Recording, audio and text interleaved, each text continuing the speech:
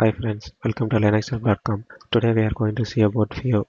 Fiyo is a free open source CMS tool. It allows the user to create a websites and also user to create a creative and attractive blogs. Okay friends, now I am going to show you how to install Fiyo CMS with Nginx on CentOS 6.9. The pre-requirements are you have to enable a service. That means you have to install Nginx, PHP and MySQL. In MySQL, you have to create a database for Fiyo and then create a user and give privileges to that user. I have a CentOS 6.9 machine and the pre-requirements are enabled in it. First step is we are going to get a package of CMS using this command. After downloading a package, create a directory in HTML location. This is a command to create a directory.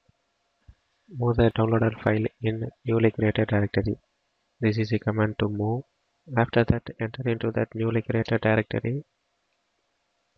In here, we have a zip file of Fiyo CMS. We are going to extract the zip file using a command unzip and then downloaded file name. After extraction, we are going to configure the PHP configuration file. This is a command to enter into a PHP configuration file. In the file, we are going to set a time zone. For that, search for date.time. In here, uncomment this line and then give your time zone. After that, save the file and exit from the file. Now we are going to configure the PHP FPM configuration file. This is a command to open a PHP FPM configuration file. In the file, search for listen. In here, comment this line and then add a new listen. After adding, search for a listen.owner. In here, uncomment these two lines. Then change nobody to Nginx and also change user and group Apache to Nginx. After that, save the file and exit from the file. Now we are going to configure the Nginx configuration. This is the command to enter into Nginx configuration file. In the file, you have to add index index.php and then HTML. After that, you are going to add a location of PHP. After adding a location, save the file and exit from the file. The configurations are over. Now we are going to change the ownership of the file phpfpm. This is the command to change ownership. After that, change the ownership of the file in HTML location. This is the command.